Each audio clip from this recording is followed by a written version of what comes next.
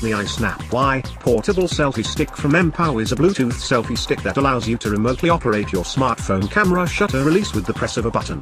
The unit comes packaged in cardboard with a protective molded plastic sleeve. It includes a detailed instruction manual, the selfie stick itself, and a micro USB charging cable. You charge it by plugging the cable into the unit's built-in micro USB port and connecting it to any USB Type A port on your computer or wall charger. Its LED light will glow red while charging and turn off once charging is complete. After it's charged you activate Bluetooth and make it discoverable by pressing the button on the front of the unit. The unit will blink blue to indicate that it's discoverable. Scan for the unit in your cell phone's Bluetooth settings and select Mpow iSnap Y to pair devices.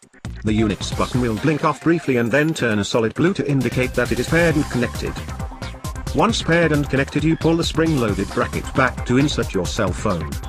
The bracket holds the cell phone quite securely in a rubberized clamp.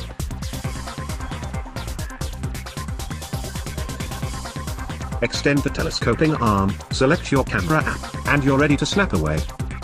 The iSnap Y portable selfie stick is a sturdy, utilitarian device providing remote shutter control in an attractive, useful package.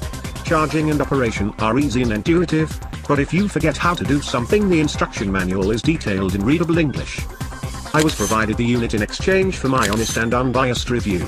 Overall it is a good unit and I like it. It is useful, sturdy and affordable. It will be great for solo shots or even group photos when you and your friends want everyone in the picture and don't want to leave out the photographer.